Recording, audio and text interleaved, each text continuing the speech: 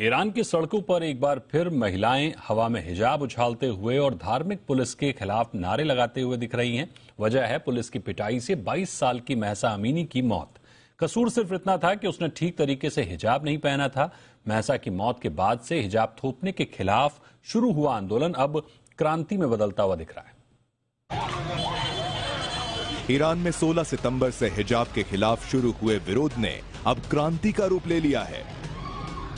महिलाएँ अपनी आज़ादी और अधिकार के लिए सड़क पर डटी हुई हैं, तो वहीं देश के पुरुष भी इस प्रदर्शन में महिलाओं का साथ दे रहे हैं। महसा अमीनी की मौत से शुरू हुआ ये प्रदर्शन अब तक ईरान के कई शहरों में फैल चुका है। बीते महीने 13 सितंबर को ईरान की मॉरल पुलिस ने 22 साल की युवती महसा अमीनी को हिजाब ना पहनने के आरोप में गिरफ़्तार किया।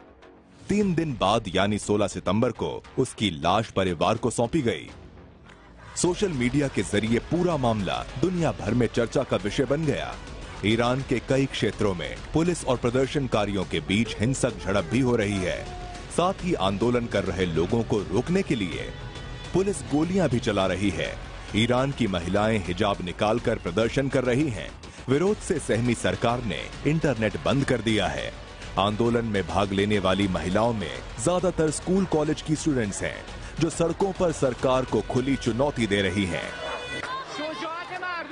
तेहरान समेत कई शहरों में धर्मगुरु आयतुल्ला अली खामेनेई के खिलाफ प्रदर्शन हो रहे हैं।